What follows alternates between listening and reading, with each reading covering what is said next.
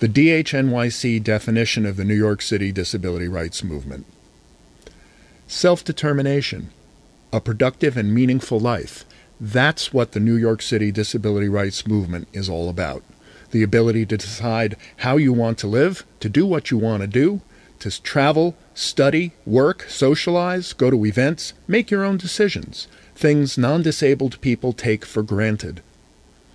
In the past, to the extent that there were efforts to deal with the situation of people with disabilities, those efforts were mostly controlled by others. Around the turn of the 20th century, that meant professionals and more or less distant, usually elite, non disabled people. In the mid 20th century, it meant parents groups like United Cerebral Palsy and the original incarnation of the Brooklyn Center for Independence of the Disabled.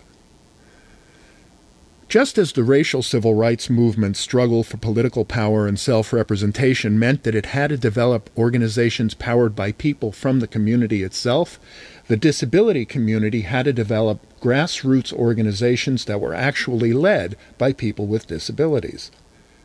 In New York City, that process began in the early 1960s, thanks to founding organizations like the Handicapped Drivers Association and the Architectural Barriers Committee.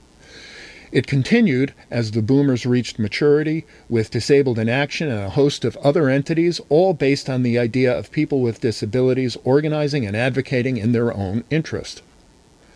Over the 60 years since its beginning, the New York City disability rights movement has pioneered historic changes in the city's physical form and political life, which have greatly expanded opportunities for New Yorkers with disabilities. And along the way, this branch of the American civil rights movement has developed a substantial community and social, cultural, and arts complex. That is the DHNYC definition of the New York City disability rights movement.